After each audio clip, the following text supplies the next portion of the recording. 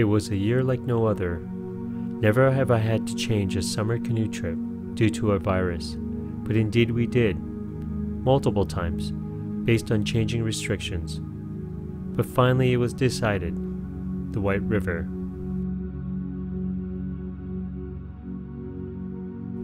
If you drive through northern Ontario along the Trans Canada Highway, you will cross the White River several times. This river was heralded as one of the top 10 rivers to paddle in Ontario. The keyword was. So, what has changed and what remains the same? My friend Ben and I are about to find out with the opening of the river after over a decade of being shut down. A journey full of challenges, setbacks, surprises, and misadventures as we begin from the bay and unknown headwaters of Negwazu Lake, 192 kilometers down to the mouth at Lake Superior.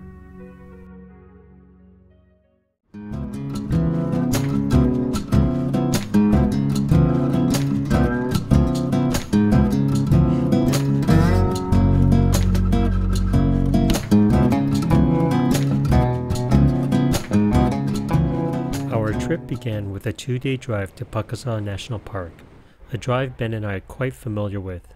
Despite logging well over a thousand kilometers to get there, we never tire of the drive, especially around Lake Superior, as the views and vistas are simply amazing. After overnighting in Sault Ste. Marie, we headed to Pukaskwa to drop off our vehicle and meet our shuttle driver from Naturally Superior. While registering at the park gate, this is where we ran into our first unexpected problem. We ran into a little bit of problem here at the park office. Um, we didn't realize that they need us to contact them prior to get the stuff all ready. They're saying that we need to do an orientation. Uh, there's some questionnaire procedures in place that could take more than an hour. Uh, so it's kind of a little bit of setback, but um, anyhow, hopefully we'll get it all sorted out and we'll get on our way. Unexpectedly, one of the park staff recognized me as the passionate paddler and thankfully let us off, realizing we were experienced trippers. With that sorted out, we quickly transferred the gear and canoe and headed off with Jacob, our shuttle driver, towards Negwazu Lake. But this is where we encountered our next problem. Well, we have a pylon or something? Or okay. I got my four on for the We most just part. lost the wheel. wow. So uh, there was been some wobbling in the vehicle. We weren't sure what it was, and uh, we just what not even like 15 20 minutes from Pukaskwa, and the wheel busted off. And thankfully we're okay. Um, there's no vehicle behind us, but we lost the wheel. Those guys are trying to get the wheel. Not that it makes any difference, but we're gonna have to. Uh, something's gonna have to change on this trip now. We're gonna have to figure out how to how we're gonna get to the access point and how Jacob's gonna get back. Not only did we lose a wheel, we didn't even have cell reception to get help. So after many attempts to sort out our dilemma, it was ultimately a kind Samaritan that offered to help that got us back on our way. Stuck out in nowhere, a tow truck was not immediately available, nor was anyone from Naturally Superior so a Samaritan took Ben back to his truck, which we then used as the shuttle vehicle. So we got the vehicle, we just loaded up the canoe and all our gear. So we're, they can't tow it right now, so we're gonna actually go to, is it in um, White White River? Husky. Husky, okay, so we're gonna go there, they have a tow truck there, but they can't come and get it now, so we're gonna drop off the keys and they're gonna pick it up later. And then uh, Jacob's gonna drop us off at uh, the access point, and he's gonna go back to NSA with the with Ben's vehicle, and then they're gonna make arrangements to drop it off at the park uh, so that we can have it for. But the keys, right? Well, Still gotta sort a few things out. Who's gonna? They're gonna. You think that would finally be the end of it, but there was just one more problem. I So know. Ben's come back Oh, from it. Pukaskwa. Still stinks, eh? Oh, dude. Come on, it's not better. We're gonna open the windows. Someone had dumped a litter of cat shit onto the highway, and I stepped into a big pile of it while dealing with the vehicle issue. Despite trying to clean as much as I could prior to getting into the vehicle, it was still bad. Bad enough, they pulled over by a lake so that I could get my boot cleaned further. With order restored in the universe, we continued on our way. Our next obstacle was the sketchy road to Negwazu Lake. With no information as to the condition other than satellite maps, we headed down a logging road, which initially was in great shape. It was only the last stretch where things got pretty rough, but we eventually made it.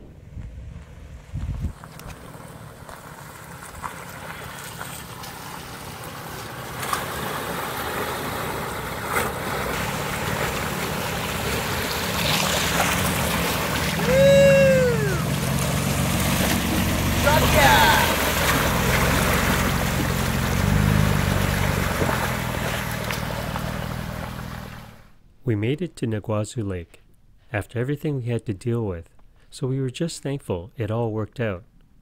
Being late in the day, our goal was to simply find a campsite close by, so after saying our farewells to Jacob, it was finally time to start the trip. We set off immediately as a storm loomed overhead, and it wasn't long before we pulled up to a small island to make camp. It was obviously well used with all sorts of paraphernalia and junk left by other campers, but due to the continuing storms, we decided to stay and make the most of it. It started raining again, so it's good that we have this tarp set up. But uh, now that we can't really do anything, Ben has a surprise for us. What did you bring? Waching! Beer! A single beverage for us to enjoy. And then have to carry this can for 180 kilometers back to town. Oh, Uh, well, we are thirsty, so we're gonna drink and celebrate our first night. It is probably, what, 8 o'clock now? quarter after eight. Yeah. And hopefully the rain will pass and then we can get our tent set up. I don't think there's going to be much more that we're going to do tonight.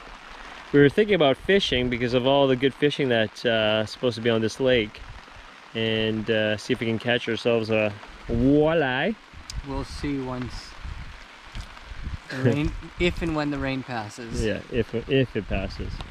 Uh, it doesn't look like it's gonna pass. no. All right, time to indulge in some beer. We didn't end up fishing as the storms kept rolling through and the winds picked up, so we decided to turn in.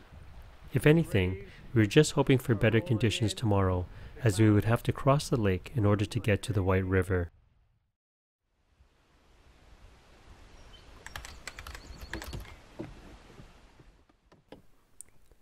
Even though it was still gray and overcast, we were most relieved that the wind had died. So after a quick and easy breakfast, we set off from our island refuge and made our way across Negwazu Lake looking for the start of the White River. At the far western end, we could hear and discern the obscure outlet where Negwazu Lake gives birth to the White River. Even though it was shallow and overgrown, we decided to just push through the narrow channel.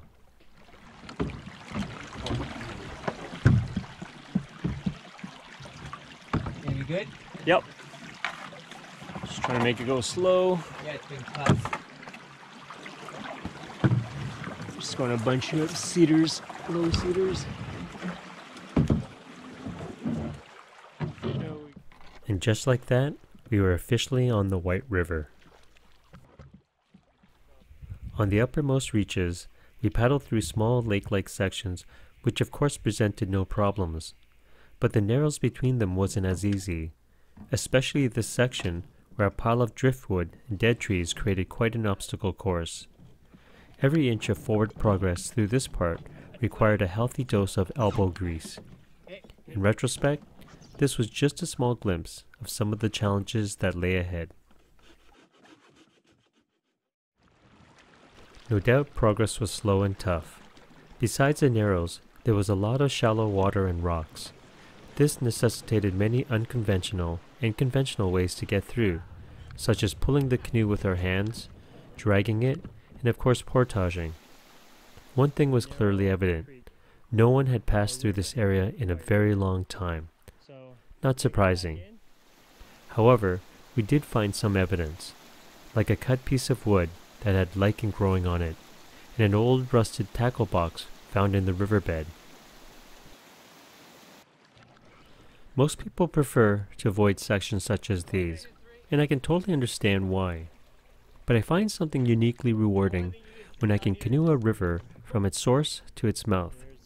To me, this provides a complete experience that embodies every characteristic, peculiar, or distinguishing that is representative of a river. It's like a friend you've known their entire life that makes your relationship inherently more intimate.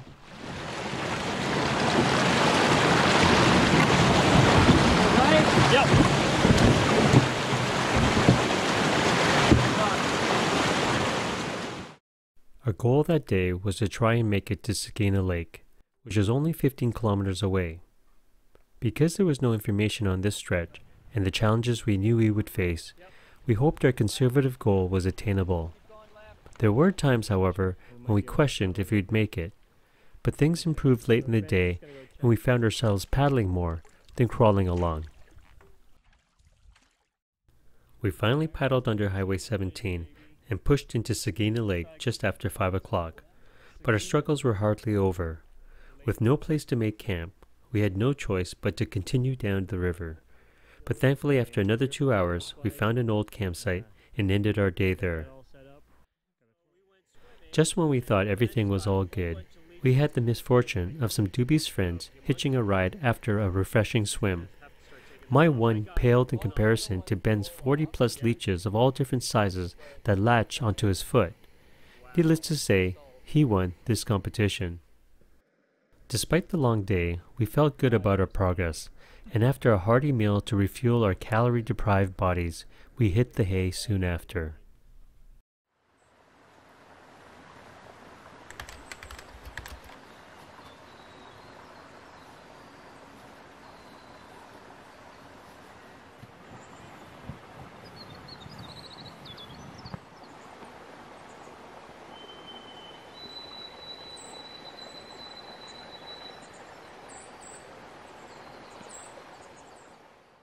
After a solid night's sleep, we awoke to a gorgeous morning.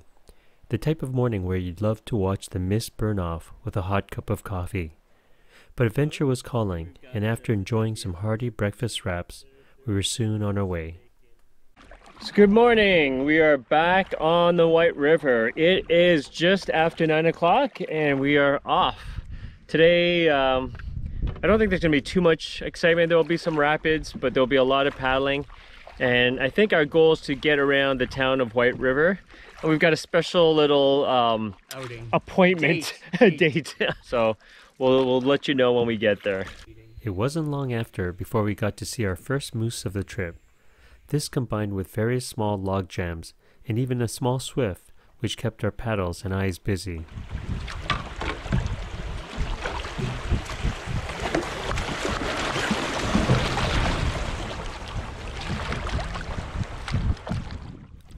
We eventually entered a lowland where we paddled through a large marsh.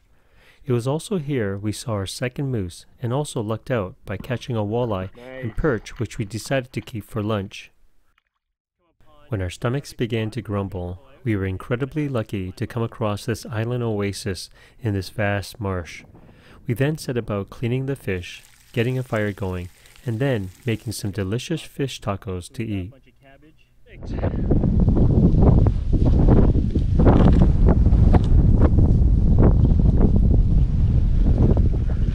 Tasty. Tasty? Mm-hmm. Fresh veggies and fresh fish. Nice. It was a nice break in such a remote and beautiful place, but it was time to get back on the water and put distance behind us. We eventually left the marsh and soon came to our first marked rapid, called Sandy Portage Rapids. As much as we enjoyed the flat water paddle, we were looking forward to some more excitement that comes with moving water. To the right, follow the V down. There we go. There we go. Rapids on the uppermost section of a river are often small and rocky, because the head lake is often the only source of water that feeds the river. But as it makes its way to the mouth, many tributaries and other smaller rivers feed into it and it cumulatively increases the volume at its lower reaches. But for now, we'd have to contend with a lot more chaotic maneuvering, scraping, and luck to get through. Yeah, let's run it down. Let's run it down. Go to the right of that. Yep. There we go. Go left. Go right. Or line. Ah, there's not much. Let's go down this way to the left. Yeah.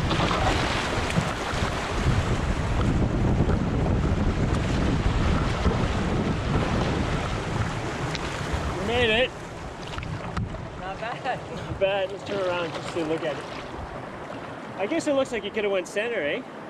Yeah, maybe. There's a rock there though. Yeah. As we continued our way towards the town of White River, there appeared to be more and more rapids, some marked and others not. We scouted larger ones, and others we continued to run blind. It was fun. They weren't always pretty runs, as rocks were everywhere, and oftentimes we did get out when we couldn't discern a line. But there were some that got our hearts pumping and adrenaline flowing as we smashed through whitewater in waves. You couldn't have seen a bigger smile on our faces after some of the runs. Yep.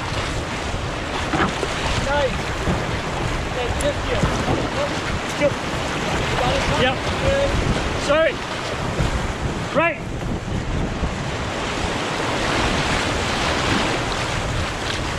Straight.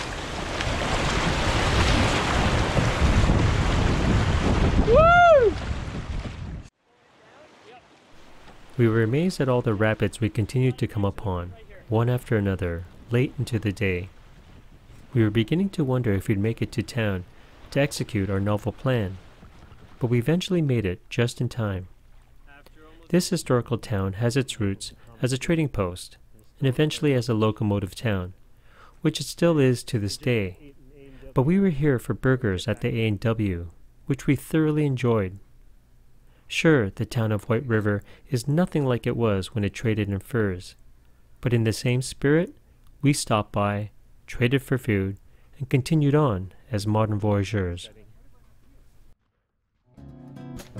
We would have preferred to continue on and try and find camp further along the river, but we had a problem. The sun was about to set and more rapids were to follow, which would make finding camp not only very difficult, but dangerous. It was then we went from being modern day voyageurs to squatters and decided to take advantage of the flat real estate by the edge of the tracks.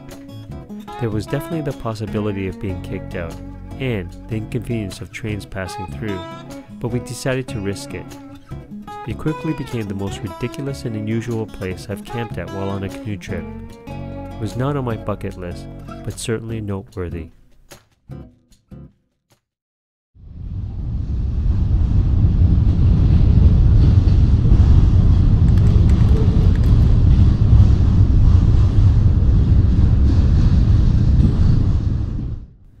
So, we didn't get kicked out, and we survived the night, even with the two trains that passed by and shook the ground we slept on. It was definitely novel, if not unique, but it was time to get packed up and get moving, as we decided to have breakfast at some point further down the river. It wasn't the nicest morning to paddle, with the low gray clouds and rain, but the river was calm and there was mist, which made up for it. But better yet, it was the rapids that followed that made things that morning pretty interesting.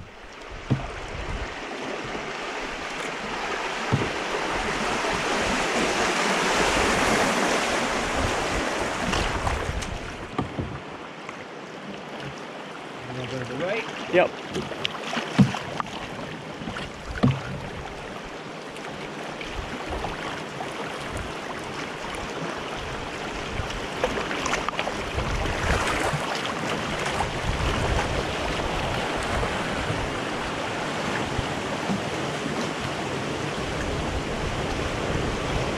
right. Yep.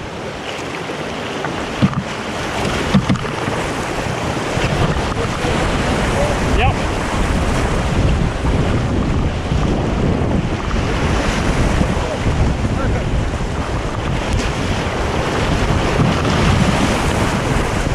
Nice. Okay, here we go. So from the left to the right, you said, or Uh, we gotta go center, yeah? then to the left, and then follow the wave train. Okay. Of course, we gotta watch for the big boulder on the left, right? Yeah. But I don't think it's gonna be a problem.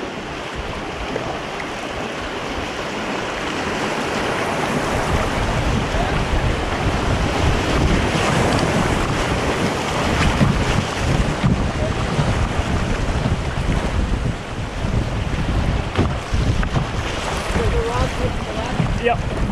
Good here. This one, right? Yep. Okay. And there is one rock to worry about straight ahead, so we'll Yeah. go to the right of that. Okay.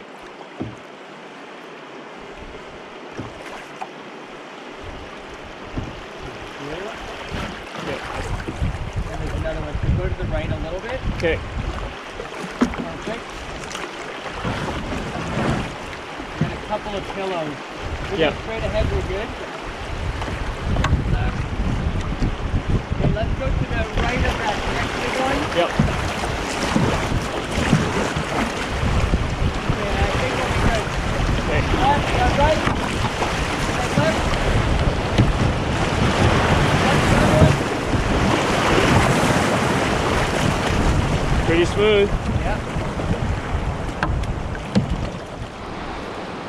Okay, so this is uh, part two of Char Pond. Um, there's a calm section in between, and so we're gonna scout this one. It's a little bit of a drop. I just want to make sure we can see the, the line that we can uh, paddle it down. The crux of this run was the last drop. Not only did we have to thread the canoe between two rocks, but the side channel and current had the potential to swing the back end of the canoe to the side, potentially pinning it. Combined with the fact that the water before the drop was highly aerated, we were dealing with some difficult conditions. But we still decided to attempt it.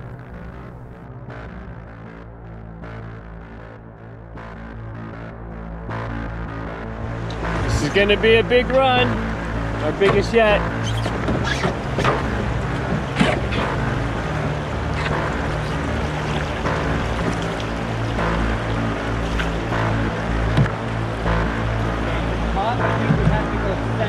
Yep, just to the right of that rock. Right? Yep.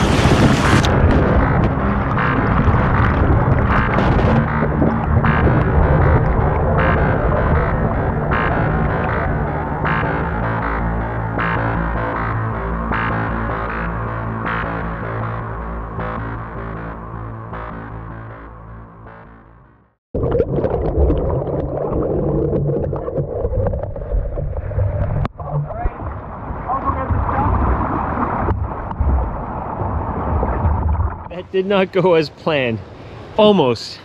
At the last drop, we knew it was going to be a tough one, but uh, the back end had just pulled out and we came down at an angle and uh, and then it, it um, resulted in us tipping over. So we just emptied the canoe and uh, we're just uh, a little bedraggled. uh, a little bit of injury, scraped my hand, but not a big deal and there's a moose still down there waiting for us so we're gonna paddle down to the next rapid devil's rapid there's a campsite there and we're gonna probably stop and uh, get something to eat and uh, get our coffee. wits back together and then continue down the river The river indeed taught us a lesson, but also gave us our third moose.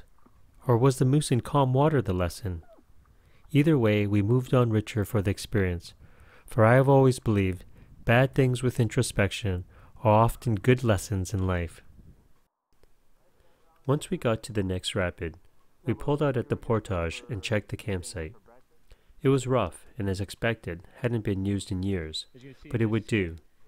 We needed to refuel our empty tanks with breakfast, but also needed a fire to warm up and dry out, as we were chilled at this point. okay we're running double rapid Now that we felt much better, it was time to get back on the water. Oftentimes, after a dump, paddlers are often shooken up and adverse to running more white water, which is a normal reaction. But with a day full of rapids, we simply put the incident behind us and immediately got back in the canoe. With the name Devil's Rapids, you would think this would keep us on the portage, but instead we decided to take the devil by the horns.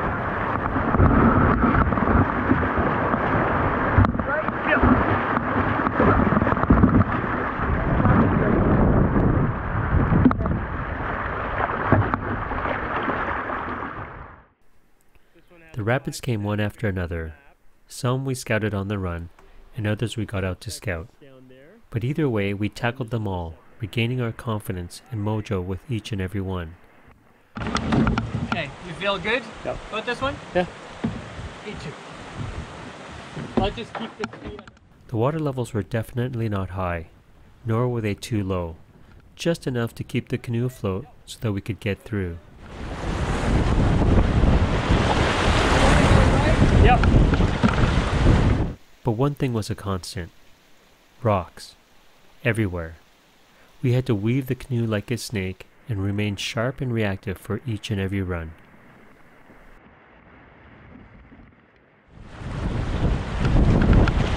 Right!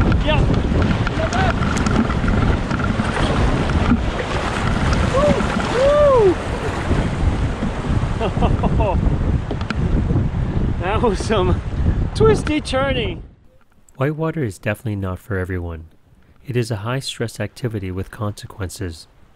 But whether it is to avoid portages, the fun of running rapids, or the rush of adrenaline, there is no doubt executing rapids skillfully is not only highly addictive, but very rewarding.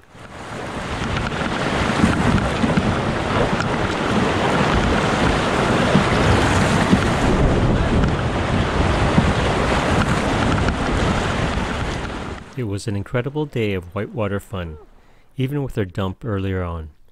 We almost pulled off running every single rapid that day, except when we came upon this one. Yeah, a it is. falls. Yeah, it's a falls, yeah. So we come upon the next rapid. We were thinking it's going to be smaller than Hawks, but it's significantly bigger. But mind you, what if, what if you come down that way? On the left side. Looks very slow.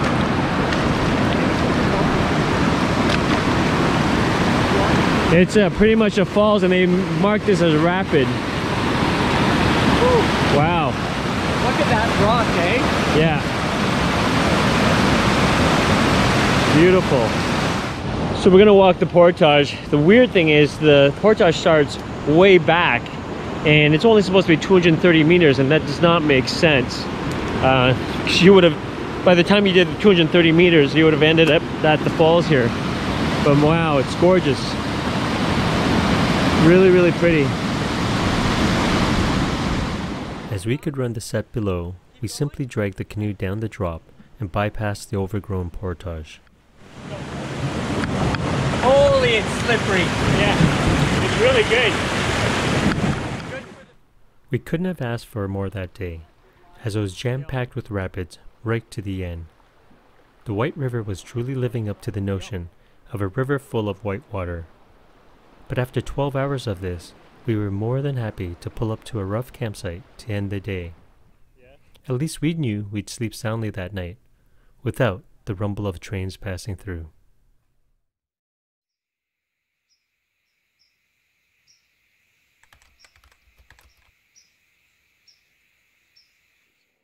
We awoke to another overcast morning, but this time well rested. We started the day in the bug shelter since our campsite, perched high up on the edge of a drop, came with perks, mosquitoes, and lots of them. It didn't take long to convince us to get out of there as soon as possible.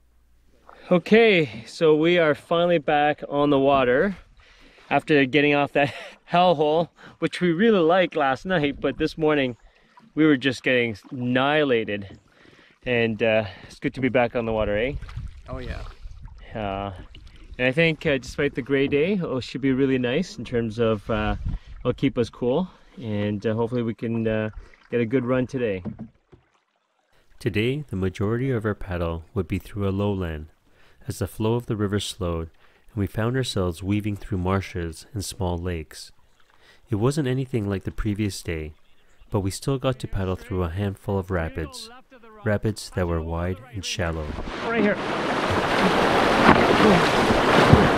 Yep. Woo. Straight. Keep going.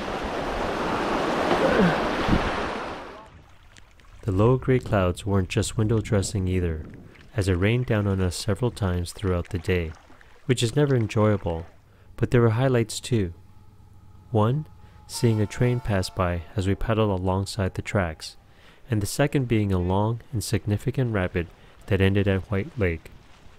Thankfully, we were able to run all of it, as the alternative was a 1.6 kilometer portage that was in rough shape. right here right here Nice. We were having problems finding a place to pull over for lunch due to the unsuitable shoreline prior to White Lake, but the docks at the public boat launch provided an ideal location. Thankfully, we finished our wraps just in time before another wave of rain hit us. White Lake is a big body of water and also an intersectional destination, as the train tracks and Highway 17 not only crosses this lake, but you also find the First Nations town of Mobert, as well as White Lake Provincial Park. As we were at the southernmost end of the lake, our crossing was short, but we did have to contend with a short lift over across a narrow stretch of land. We seriously considered staying at a campsite at White Lake Provincial Park, but the hustle and bustle of summer campers and the trouble of getting a camp permit made the decision for us. Thus, we continued paddling down the lake, looking for something more isolated and wilderness like. In the end, our decision to move on paid off as we found an amazing beach campsite with ample flat areas to pitch our tent and shelter. We couldn't have asked for more, as it ended up being one of our favorite campsites on the trip.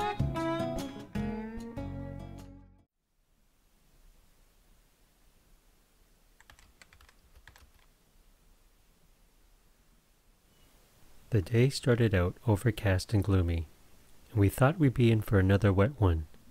But surprisingly it cleared and turned out to be a beautiful day. But there would be a different kind of cloud cover. Today would mark a turning point on our trip.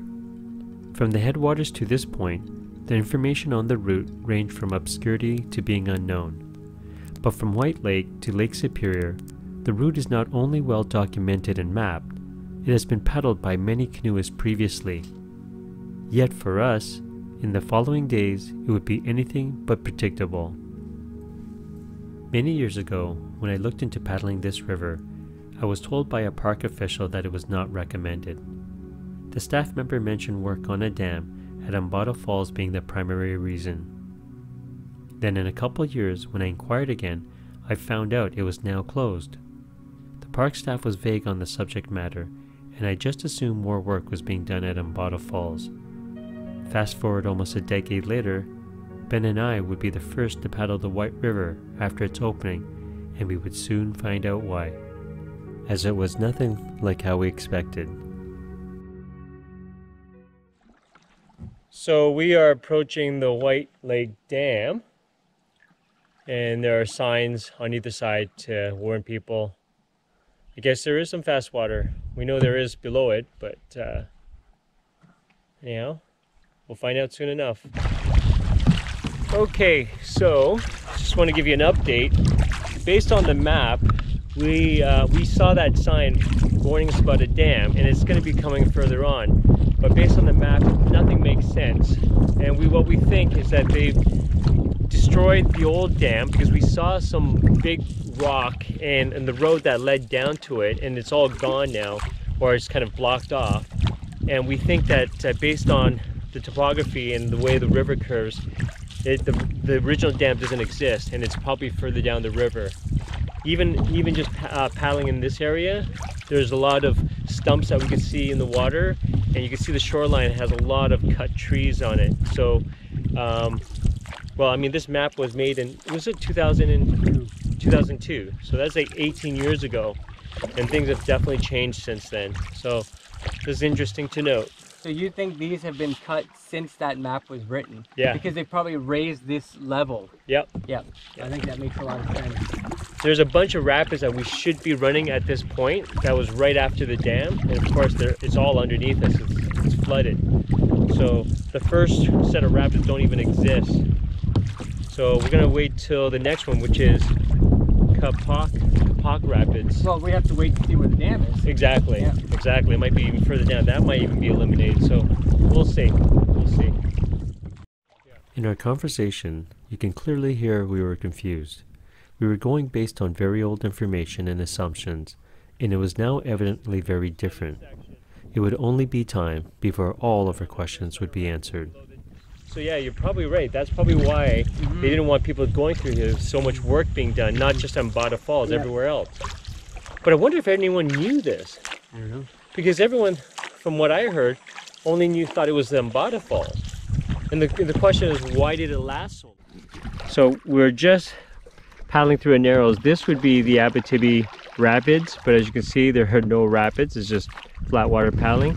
But beyond Bend, we finally are coming upon the dam. So there's buoys there to block off people from getting through. So we're gonna have to figure where to get through to uh, portage around this dam. What or what remains of the river below it? We have no idea based on how much water is being let out and uh, what kind of rapids will still exist or new ones be created. I'm not sure.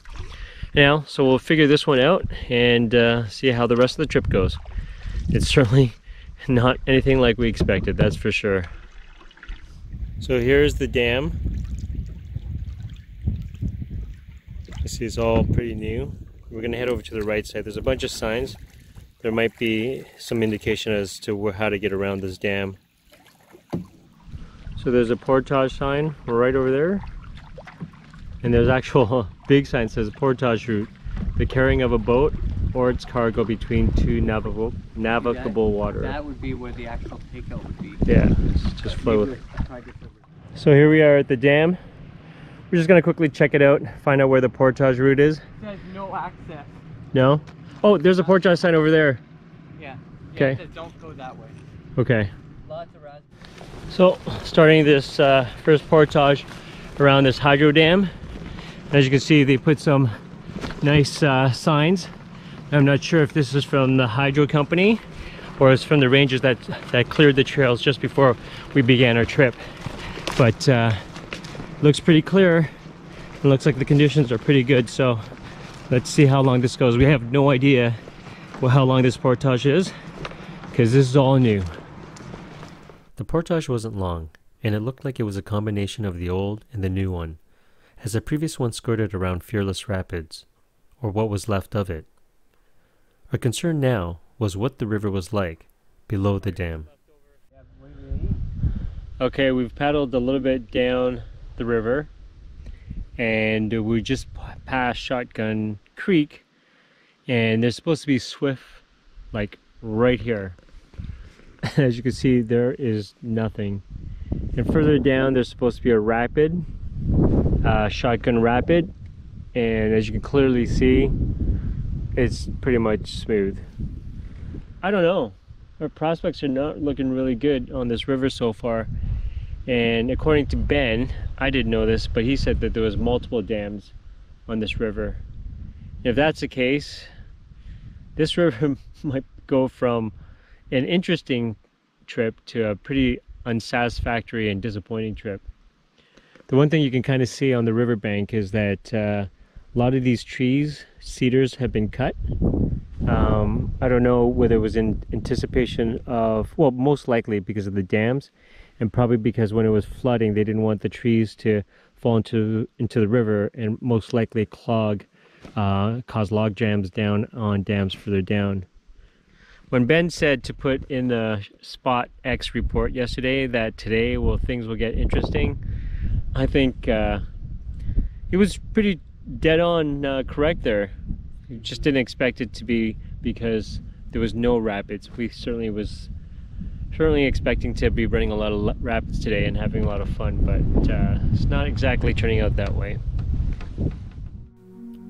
It quickly became clear that there was another dam somewhere up ahead. Rapids and Swift that were marked on the map were gone. The shoreline damage and the continual display of stumps were indicative, but the biggest surprise was finding Chickagons Falls completely silenced. Chickagons Falls was a significant cataract through a narrow gorge that even killed a paddler that accidentally got swept into it. But all that remained was an imperceptible current where once whitewater raged and tumbled to the river below.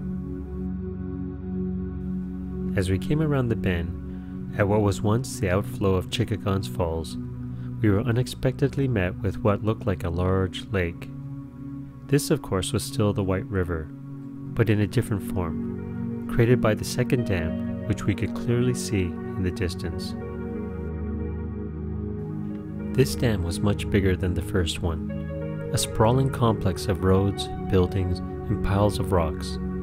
It was sad to see, but at the same time fascinating, thinking about the incredible amount of energy and work needed to create this infrastructure to redivert the river and create a source of energy that we all use in our daily lives.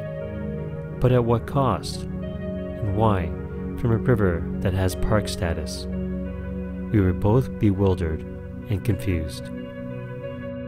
However, unbeknownst to us, we'd soon get the answers to our questions.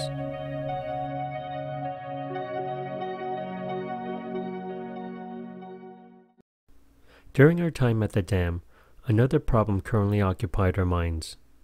We went beside the sign, but there is no portage. We think now that because the size of the sign is probably indicating that the portage is probably somewhere over there.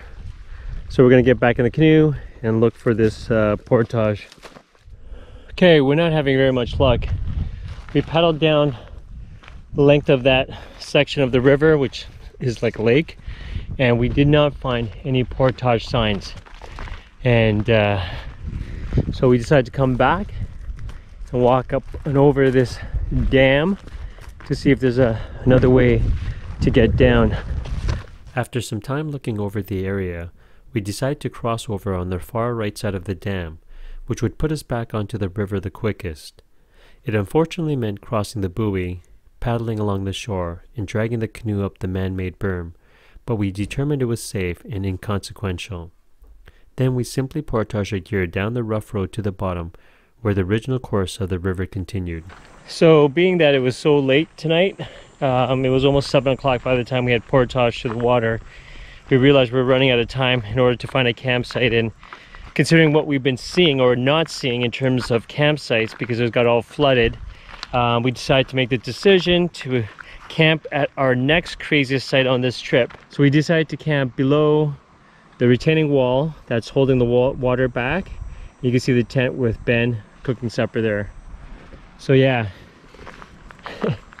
if the train tracks wasn't crazy enough, this will probably top that as being some of the most insane places that we've uh, camped at on a canoe trip. Not just once, once on a canoe trip, but twice. I mean, look at the look at the scenery. It's just absolutely just bizarre, but at the same time, it's kind of mesmerizing, just because it's massive rock. Despite feeling like we were camping on Mars, we made the best of the circumstances we found ourselves in. We enjoyed another walleye for supper, and then spent the rest of the evening touring around the dam. As unusual as it was to stay here, it was an unforgettable, poignant experience that reminded us that there is always a cost for the things we enjoy in life.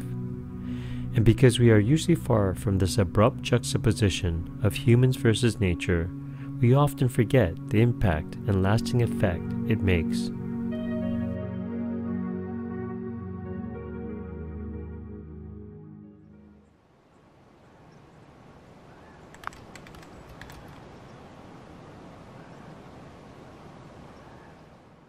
Our night at the dam was much more restful than our camp by the train tracks. It was still weird crawling out of the tent and witnessing the unnatural scene around us, but as odd as it was, we actually didn't mind as it was so different. But as we were packing up to leave, we noticed a vehicle pull up and two men inspecting the dam. They in turn spotted our tent and canoe, so we went up to speak to them. We found out Wayne and Norman were Pic Mobert First Nation, were kind enough to provide us some background information regarding the dam. As the White River courses through their traditional lands and wanting to be self determining, they went into a long term ownership agreement with regional power to build and maintain this dam, which would directly support their community. We appreciated this information as it gave us insight and context as to why the dam was built. As canoeists and wilderness advocates, we may not always agree and appreciate when our natural landscapes are altered forever, but our opinions are irrelevant in respect of those whose lands we got to paddle through and their right to self determine. We were grateful for this opportunity and left with a better understanding.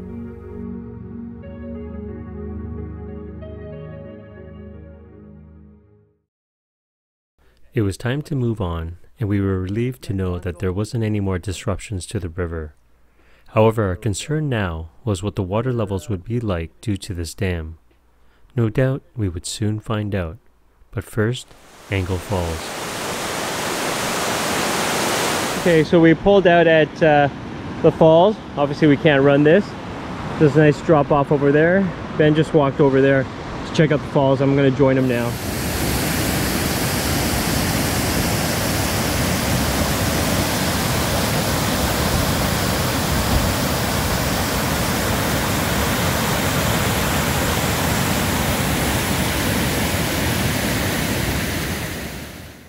There was an 800 meter portage on River Left, but because of the lack of water, we simply carried over a significantly shorter distance over the exposed rocks on River Right, and we were soon back on the river to tackle the remaining rapids below the falls. Before we left, Ben decided to drop his line below the falls, and it wasn't long before he hooked on to a fish.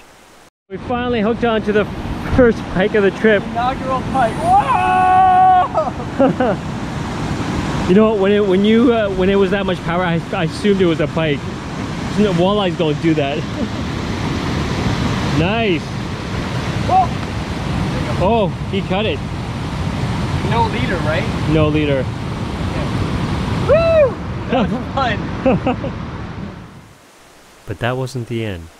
In an ironic twist, Ben actually rehooked the same pike soon after and got his lure back. How's that for a story? Then it was time to run the rapids below the falls. Extension. Yeah. And then we'll go to the right of the, of the rock in the current. Yep. This is good. Yep. Don't you think you should go left, right into the That's current? what I meant. Yeah. right.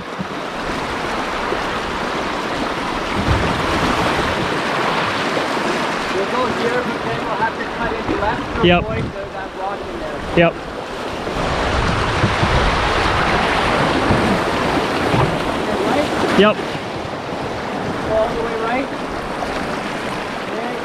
Oh, then we got a ledge up there. Go uh, left. Yep.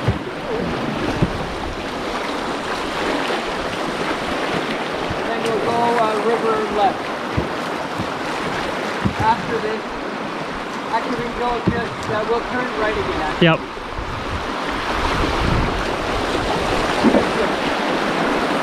We got right.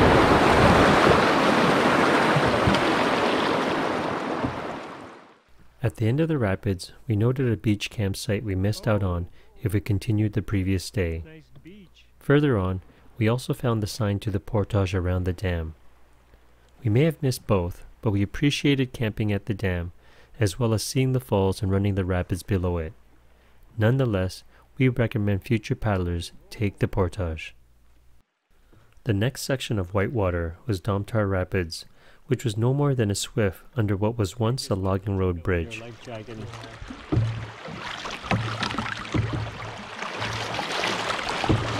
a well-built bridge. Yep. Like they didn't cheap out. However, the next rapid wasn't a pushover. We are now just at Baptisimin, Baptisimin Rapids.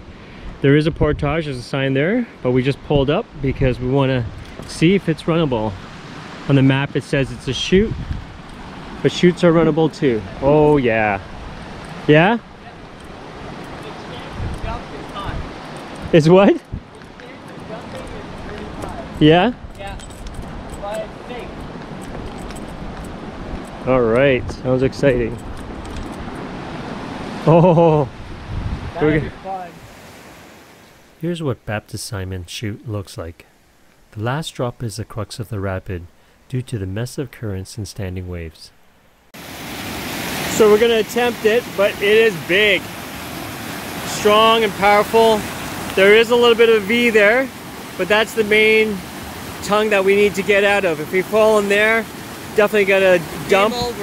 If we hit here, we might make it, but it'll, it's like a wall. It'll just hold us back, and it may turn us over into the tongue and dump us there as well too. So there's a good chance of dumping. The only good thing is that if we do dump, it's pretty safe. There's like, it's just flat water here.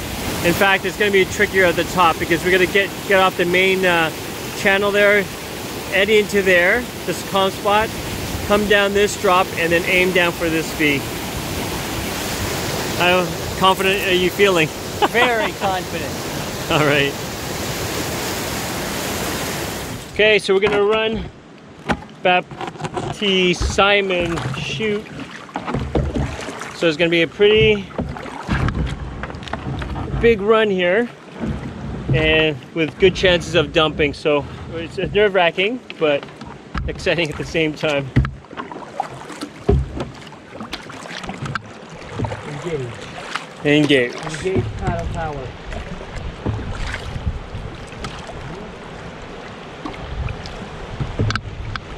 Eddy should be easy to get. Yep.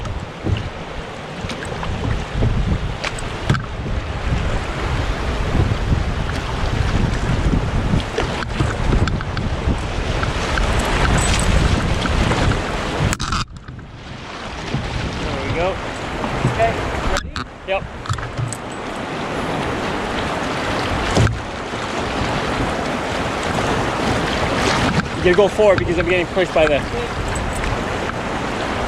Okay, now switch. Turn. There we go. There we go. Okay. It's the current Yeah, that's pushing me. There we go. Okay, here we go. Man, this back eddy. There we go. Ready? Yep.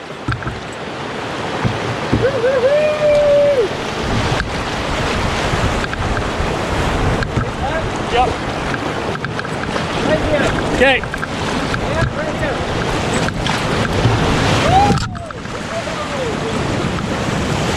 That was a rock. Woo. We got water. Yeah. Because when we went sideways, it just filled. Woo,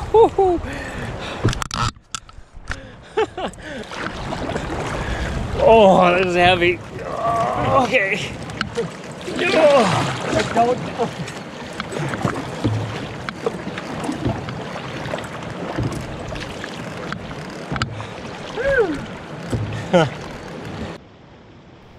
Here's a different view in slow motion. Even though it looks like we hit the line, we were too far to the right and slid off the tongue and hit the wall of water as well as the rock underneath it. We took in a lot of water, but thankfully we managed to keep control of the canoe and get to shore. So there's a campsite here at the end of Baptiste Simon Rapid, and we're surprised to find people camped here. Now they're not here, um, but we're also going to have lunch here. But uh, just because they've occupied the site, we're going to continue on to S Rapids. There's another campsite there, so we'll probably stop there for lunch. So we are at S Rapids. There's uh, multiple sets, but here's one that's a good drop definitely one that we're gonna probably get a soaker, but uh, it's pretty straightforward. You want to be more to the right? Yep. Okay, get here. Oh, true. okay, go, go, go, go, go, woo! Woo!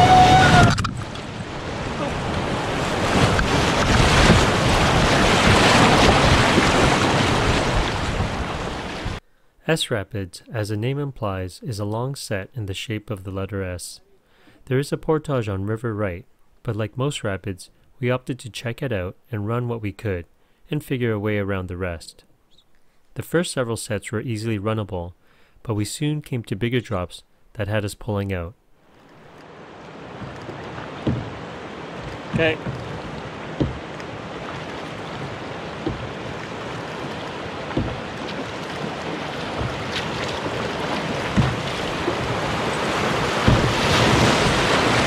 Okay, head over there, Tinky, again.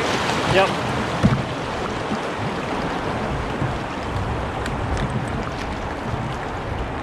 Something sounds bigger down there. Yeah.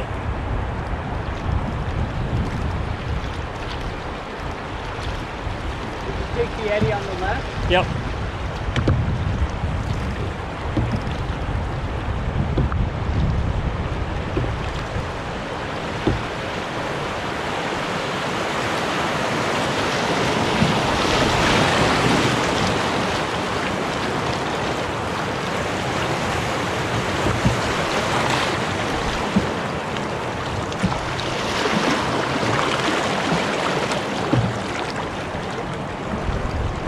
Although we might have to cross river, see what's going on. Yeah. We can't tell from here. Yeah. Huh. Should we front ferry and go in the middle there? Yep. Beyond the big rocks, right? Yeah. Like above it? Or No, you're talking about below it? Below do it? you Okay. think? Yeah, there's an eddy in there. I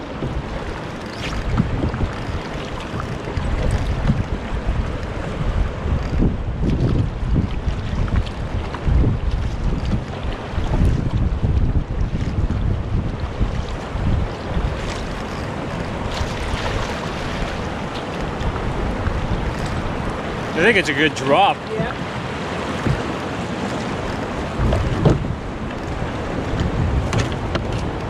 Oh yeah, I think it's a big one. As expected, the drop was too big to run, so we decided to scout the rest of the rapids as we could clearly hear bigger water ahead.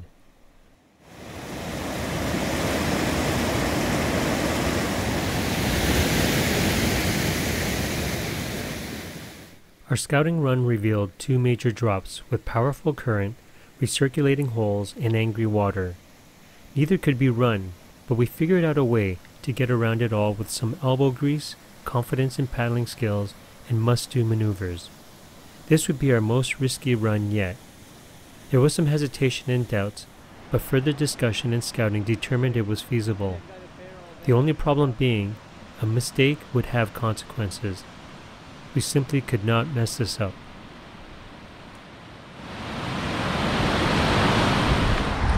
Okay, so we're gonna do a series of liftovers and must do maneuvers so I can get a little dicey. So what we're gonna do is paddle, drag down over the other side, get to here, lift over there, paddle this section, drop down here, get into that small little channel and sneak in right in there. We're gonna tuck the boat in there, do a lift over and then run the last part over there. But uh, this part is crucial. If you miss that, you're going down that big uh, chute falls.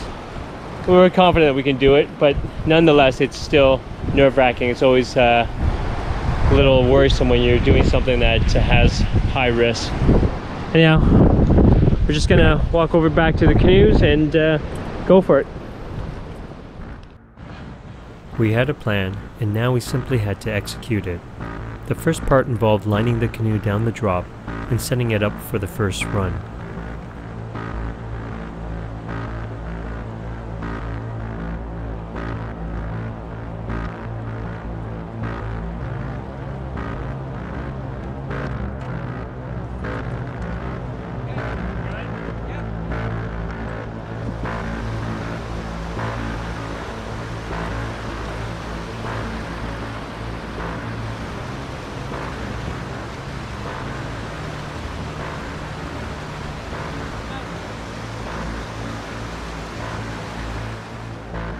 Next step was to run a rocky ledge and get into an eddy before the first big drop. However, the run took in too much water and I decided to pull off and bail. Any significant water in the canoe can create an undesirable wobble, especially when executing a quick turn, so I decided to call it since our next move was a must do.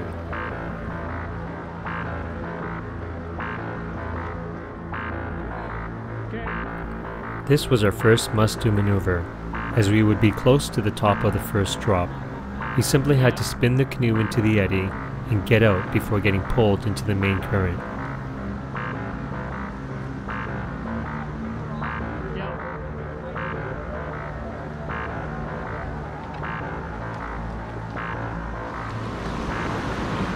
We'll be fine. Go right down there. Perfect. There we go. Yep. Perfect. Smooth. We got time, we got time. Nice.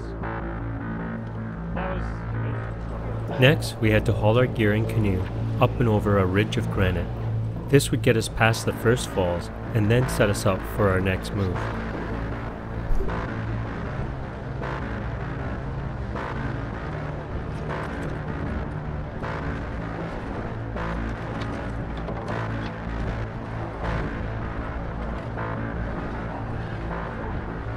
Okay, here we go.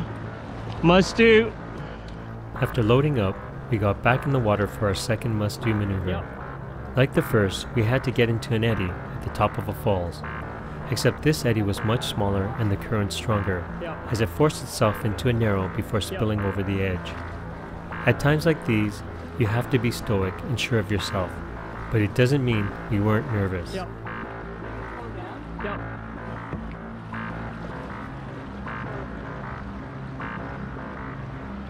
This sneak channel wasn't part of the original plan, but Ben preferred this route as it further slowed us down Okay. in preparation for the eddy turn.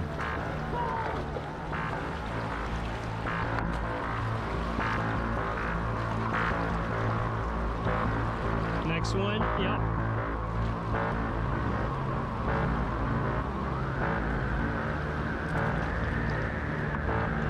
We made it. What a relief. Guys are The stressful part was now over. All that remained was one last liftover, then run Yeah. the big outwash of S Rapids. Yep. Right? A little precarious move. Yep. Okay? Okay, ready? Yeah, I got it. Yep.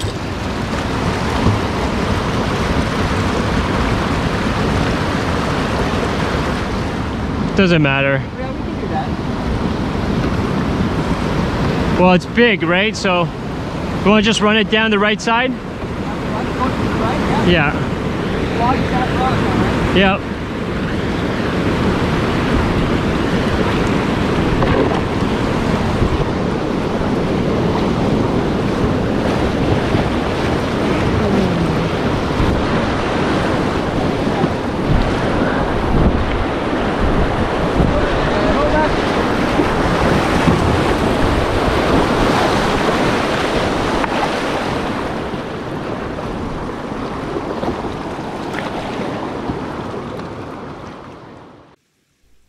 We found out that these two men were from the campsite at Baptiste Simon Chute. We planned to have lunch at S Rapids, but were asked to leave since they claimed this was their fishing spot. We were a bit shocked and puzzled by the comment, but we left and stopped further on down the river. It got even more weird. Despite being quite a distance away, one of the two men kept standing at the shore glaring at us. At this point, we were not going to move, even if he paddled over to us. But the best part Ben found the honey hole where he hauled out several large walleye. Now that was pure karma. But you can see really very little drop. We continued on after our very late lunch and put in more distance. It was also very late in the day, and we were having trouble finding a decent campsite when we came upon Hayward Rapid. So we're just at Hayward Rapid. Hopefully this is the last one before we find camp. Uh, but it is a good, uh, good tongue. We're gonna avoid this. This wave that curls can easily uh, take a canoe and kind of push it over to the side, and then you get swamped up over in that big wave. So we're gonna do a sneak route. Probably come from that side and power through on the right side. It's just uh, late in the day, we don't want to get soaked. Otherwise, this one we would have just ran right in the middle and had fun with it. Ready? Yeah.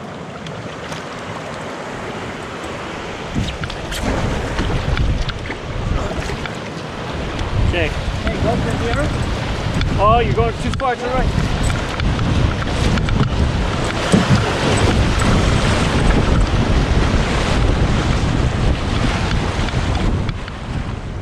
It wasn't exactly how I wanted to run the line, but it still worked out perfectly.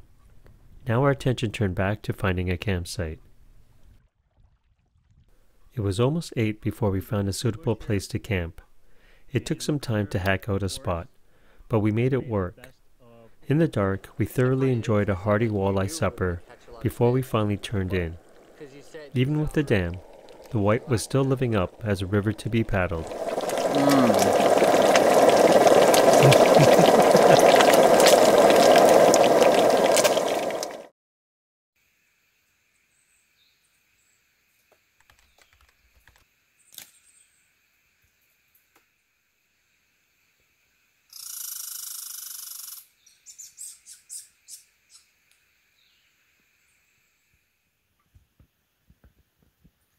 We definitely slept in and got to a slow start due to the late night, but we eventually got back on the river looking forward to what lay ahead. We had more rapids to contend with, but our biggest challenge today would be the 2.3 kilometer portage around Umbata Falls. But first, this. Stash. Okay, we're just approaching approaching Stash Rapid, and it sounds like there's a big drop. So we're gonna pull over. There's actually a portage sign on the right, and we're gonna pull in there, and uh, we'll scout it or either portage it.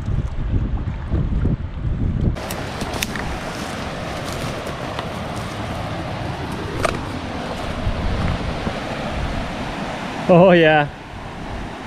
Okay, after scouting, we decided that it's a safe enough run. I mean, there is a chance of dumping if we fill in, but there's a nice center tongue and uh, really there's nothing after and we can swim to a beach where the, the put-in is. So there's really no danger if we dump, but because of the power and the, and the size of the wave, we could fill in, but we're definitely gonna go for it. 70% chance to dump. I said 50-50. Oh well, let's give it a go.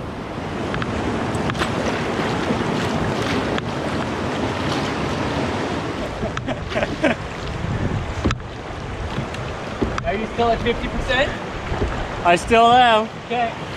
Okay, maybe 60. Okay. All right, we're doing it. Brace, dude. Yep. Oh.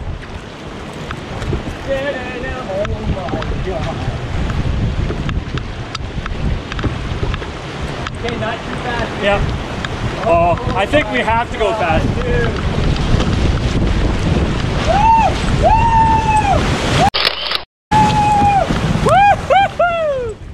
That was a lot of fun, but how about another angle?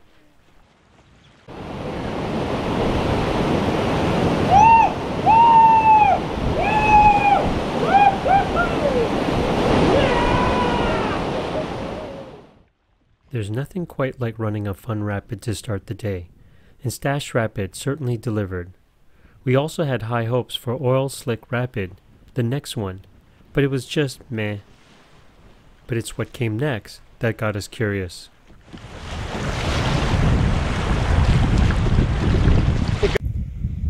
So we're just coming upon a sign that's warning us uh, that there's a portage coming up, and I guess they want to make sure that people don't miss it, because Umbata Falls will certainly be disaster if you go down it by mistake. It was clear they didn't want you to miss it, as there were multiple signs. Orange balls, and there's lots more signs coming up. I've never seen so many portage They mean business. There's another one right there, and there's a few more over there. I don't. All right, here's a portage. Umbata Falls Portage. Not only were there multiple signs, they actually had color balls strung up across the river. You simply couldn't miss it. Either way, no canoe would be able to get through Takeout Rapids, so portage it was. Okay, we are, it's about quarter to two and we're starting the Umbata Falls. We're leaving the canoe on one barrel. And as you can see, it's an ATV trail. We heard it was uh, a pretty good trail, nice and wide. And you can already see a sign here. Should be hot and sweaty. We just uh, soaked ourselves with DEET because of mosquitoes. But uh, let's see how this goes. Okay. We've already made a mistake. We took the wrong barrel the barrel that we were supposed to take has the water in it but it also had all the snacks which we would have rehydrated at the end of the portage and we had the water waiting for us here of course we took the barrel that didn't have anything so we are headed back to get it Now we're officially on a logging road. We're about just over, maybe a little over one over one kilometer in. Okay, so Umbata Falls is in that gorge there, of course. Couldn't see it, and there's the installation where they're generating power. And they built this uh, sorry, this bridge here for, I don't know, I guess servicing, yeah, it's to service the lines here, power lines here. But you can see the rapids, the final drop at Umbata Falls. Wow, it's beautiful crazy butterflies here. I don't know.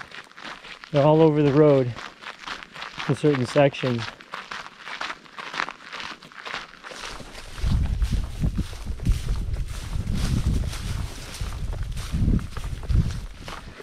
Hot.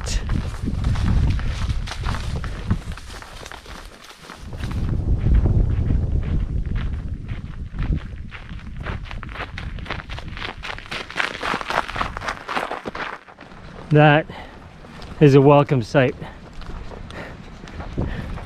Hey? Oh yeah. You can use that. Just seemed like it went forever. All clouding over. Oh, thankfully we're done. You can bet we were glad to finish the portage. We took time to cool down and relax, as well as snack and rehydrate beside the river. And because we were ahead of schedule and wanted to see Umbata Falls, we also decided to stay and camp here for the night.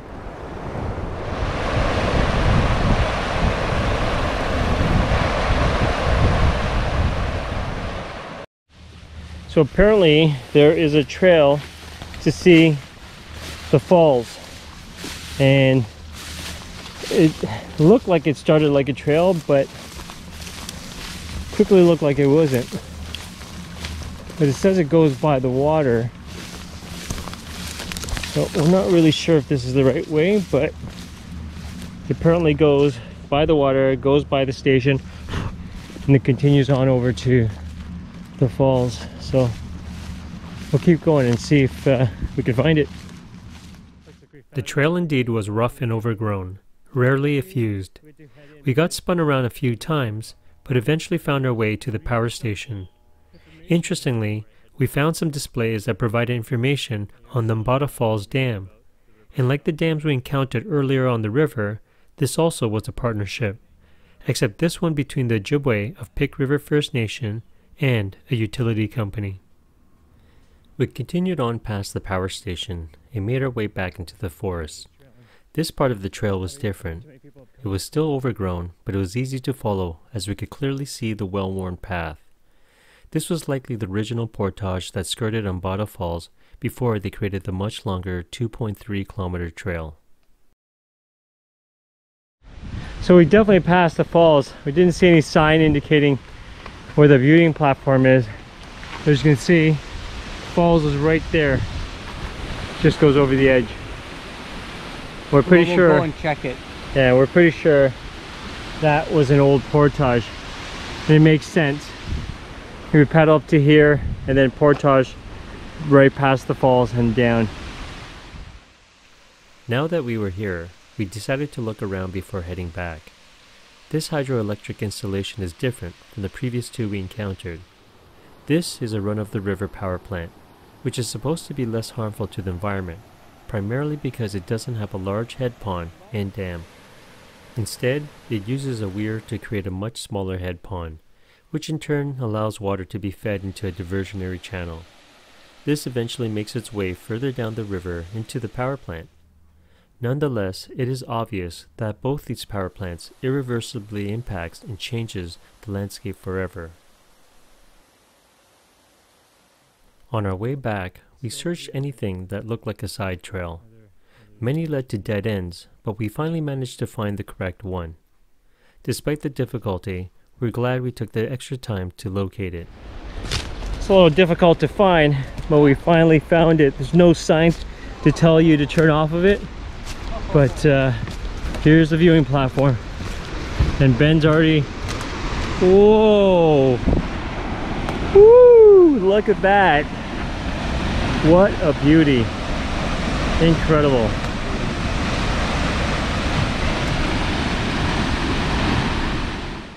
You can see Umbata Falls is fairly small. Factors likely due to the season, but also undeniably due to the dam. Just how much we weren't sure, we had seen pictures of it when it was substantially bigger. Nonetheless, it was still incredible to witness and experience. We were just thankful we made the effort to see it, as it was totally worth it. It was a long day in terms of walking, but it was rewarding, not only to see Umbata Falls, but to also put the long portage behind us. We enjoyed a savory noodle dish for supper with walleye fillets in the broth, and then capped the night with a campfire before finally turning in.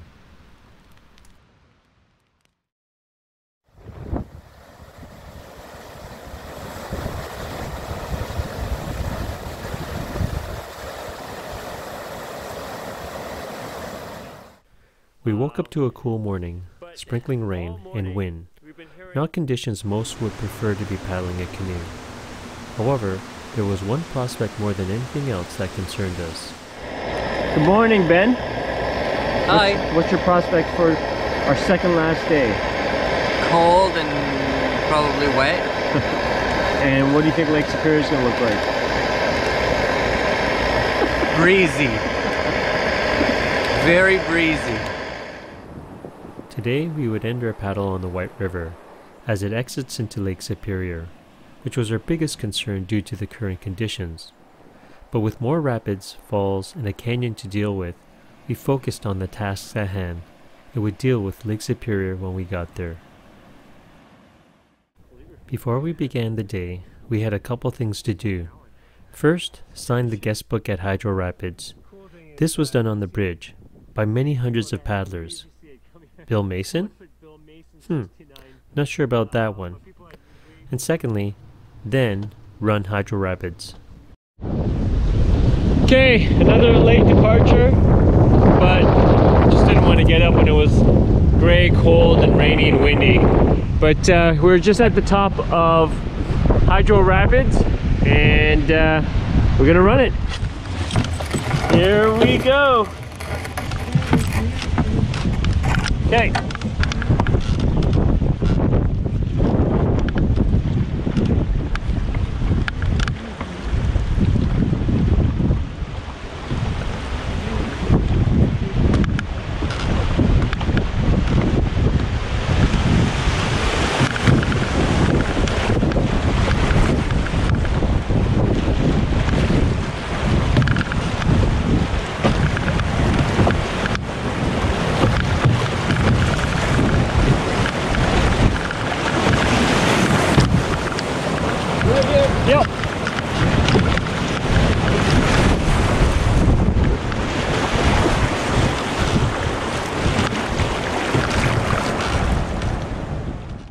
That taken care of, we continued paddling down the White River and soon came to the park boundary where we would now be paddling through Pukaskwa National Park. It wasn't long before we came upon the first set of twin rapids. We paddled past the portage to see if we could run it, but decided against it due to the risk and the bigger set below it, so we headed back. It's an interesting put in. Just uh, scrambling on rocks over logs to our put in. But uh, you can see there's another big drop over there. That's a second set of twin rapids. It's really probably not a rapids, small falls. After the carry, we decided to check out the rapids we bypassed. They were huge and worth going to see. These were the final two sets in this series of three.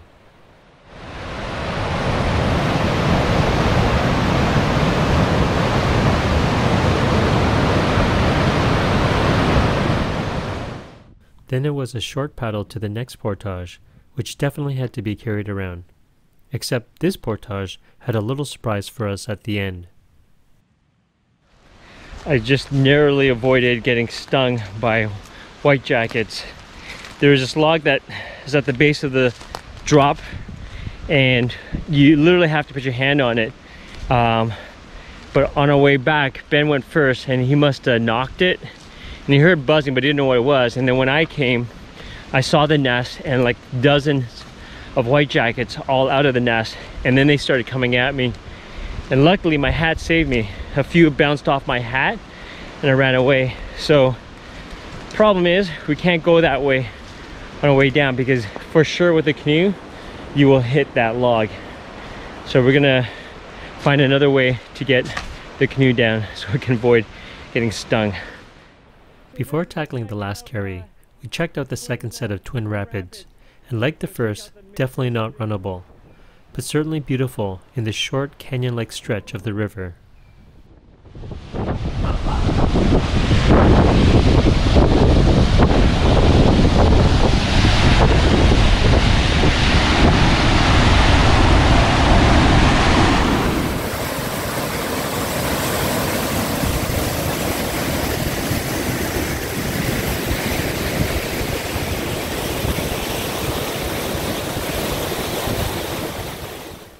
Then it was time to get the canoe and the rest of the gear to the put-in.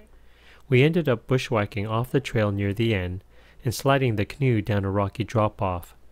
This was definitely more work, but preferable than getting stung. We had a bit of a paddle before we came upon our next obstacle, but the continual wind had us constantly thinking about Lake Superior and what conditions we'd find out there. here come and get me Next, we came upon Hook Falls. The only problem was there was no portage. No sign, no trail, no nothing. So we pulled up cautiously near the brink and portaged alongside it. Being a part of the park, I was surprised there was nothing here. With the current water levels, we managed okay, but I could only imagine what it would be like coming upon this in high water.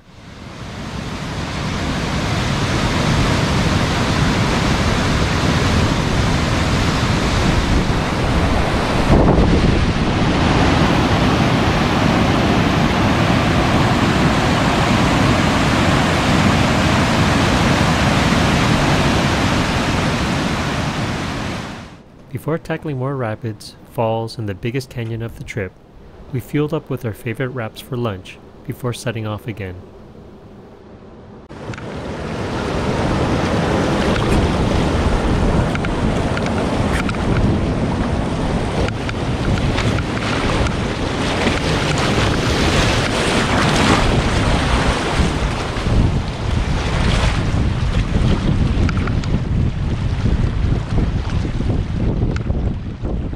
Based on the map, there should have been a set of rapids with a 220 meter portage on river left, but surprisingly there was nothing at all.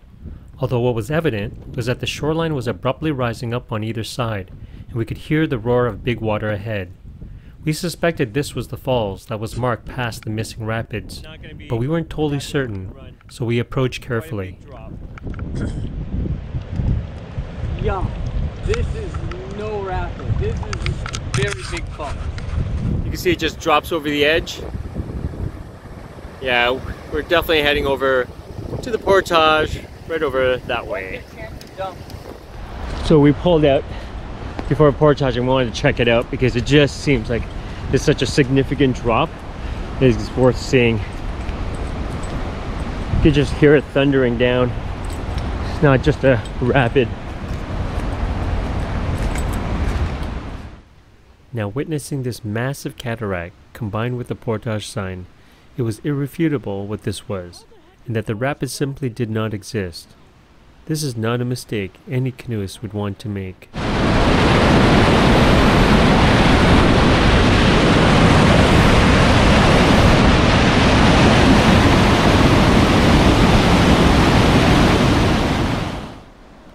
No doubt we portaged around this, which even included a set of stairs. But at the put-in, we couldn't resist seeing the falls from the downstream side, and walked along shore to try and get a better view. The scene was incredible, but some of it was still blocked by vegetation, so we decided to get in the canoe and paddle upriver to get a better angle. It was definitely worth it. Probably one of the best display of the White River with the massive falls next to the sheer granite wall. It was stunning. We were truly coming to understand why this river was so acclaimed. But there was more. We soon came to our next portage, the last one of the trip, which would take us around another waterfall in a deep canyon lined by 100 foot granite walls. Here, the river would take its last tumble as a white narrowed and toppled down Chigamiwinigum Falls through an incredible gorge. No doubt it was another highlight of the trip, an experience that truly brings to light why this river is worth canoeing.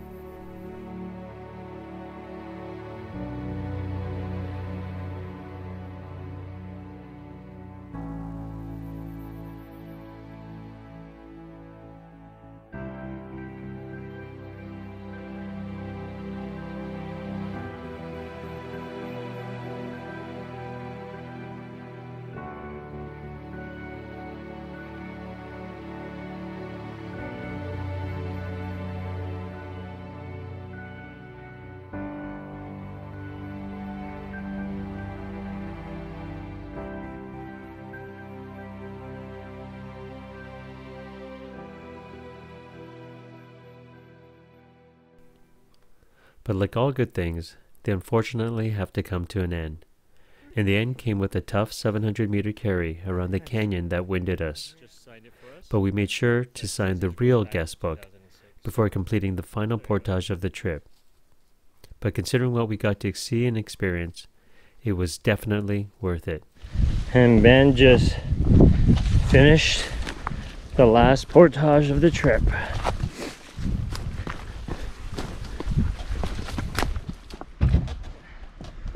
Nice job.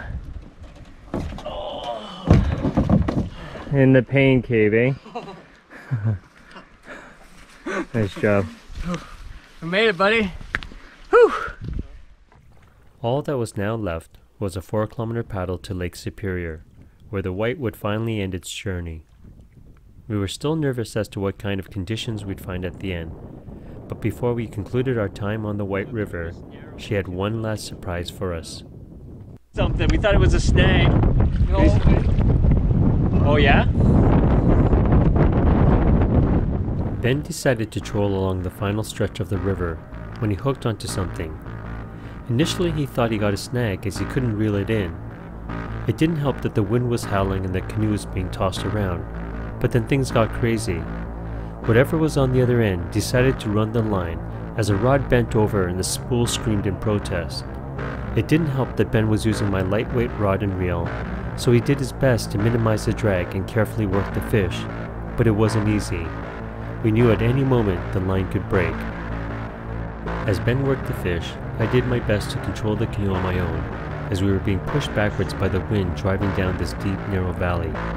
We had a few close calls when the fish almost ran all of the line off the spool, but Ben carefully managed to work it back every time.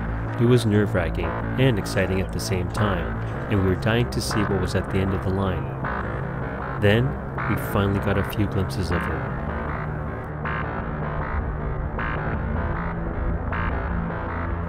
It was a pike, a very thick pike at just over two feet long. It was a powerful brute that just wouldn't give up and often dragged our canoe at the same time. We discussed our limited options as there was neither a suitable place to land the canoe nor did we have a net. Due to the challenging circumstances, we decided to just pull the lure out of the mouth with a forceps when it tired enough, but in the end, it did it for us. As we were trying to position the fish by the canoe, it gave another violent thrash and finally freed itself of the lure and slowly made its way to freedom. We would have loved to let this pike go under a different scenario, but it wasn't meant to be. Nonetheless, what a rush, and what an incredible way to remember our final moments on the White River.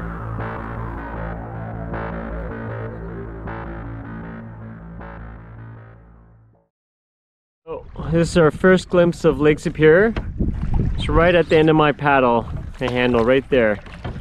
Right now we still got a uh, tailwind. So right in this little junction here is supposed to be a campsite and a little portage to the other side of Lake Superior. So um, it's for people who are trying to get out to Lake Superior and if it's too, like the water is too crazy with waves and, and, uh, and the current, then they can easily portage out to Lake Superior this way. So we're gonna check it out just to see what the conditions of Lake Superior is. If it's really bad, then we'll probably try to stay here at this campsite.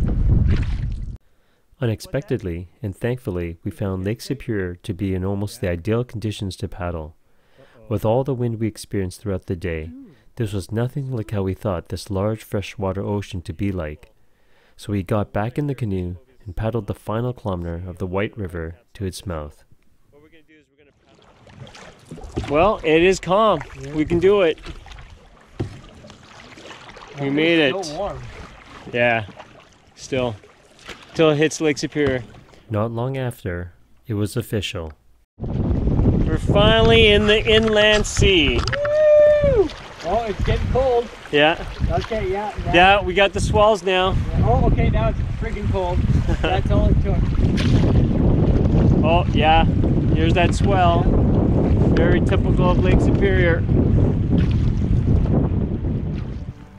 After eight days, dropping 765 feet, over 192 kilometers, we paddled, portaged, and dragged the entire length of the White River from Lake Negwazu to Lake Superior.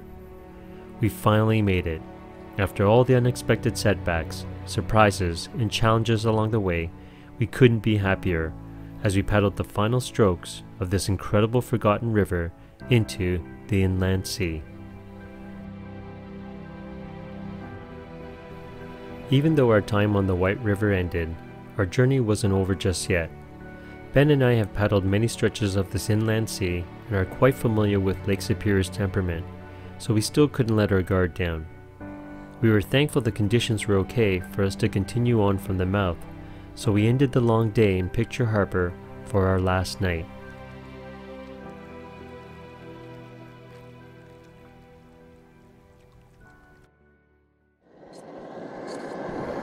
But it's a beautiful night on Superior. And we got some good news. We uh, found out we got the weather report from uh, Ben's wife. And the, actually, the waves are going to be less uh, than today. And the waves aren't too bad today. So it means that tomorrow we should be able to get out without any incident. We were relieved to get good news regarding the weather and water conditions for the next day, so we were able to relax and enjoy the Last Supper while chatting and reminiscing about the trip.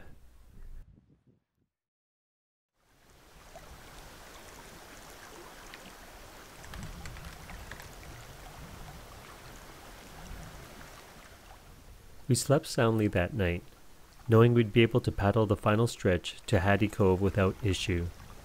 Even still, I woke early, listening intently to the wind and waves. If you've ever paddled Lake Superior, you know exactly what I'm talking about. You never ever really let your guard down.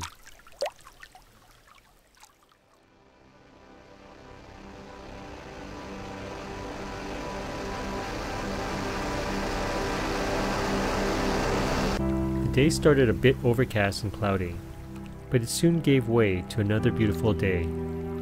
Then we continued with the same routine we've been following for the last nine days, having breakfast and then packing up. But today, it would be the last. All that remained was five more kilometers of paddling. We still had a long open water crossing around Playter Harbor, but the conditions were generally as forecasted, and despite some bigger waves and chop, it wasn't a problem.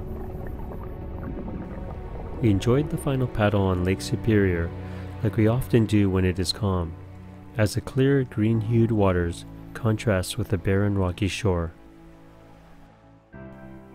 Then we made the final turn into Hattie Cove, where we could see the visitor center across the water, and now knew for certain that we not only made it back safe, but the trip would officially be coming to an end. It's always mixed feelings when I end a canoe trip. I miss my wife and our pups at home, but I long to continue paddling, seeking, and exploring waterways well known and forgotten. Ironically, the White River was both a river popular and well known in the paddling community years ago, but forgotten for over a decade due to the construction of the dams. Is the White River still worth paddling? My answer is yes, but it has mixed feelings too. Many of us long to escape the urban life, and we often do that by heading to places that are still wild.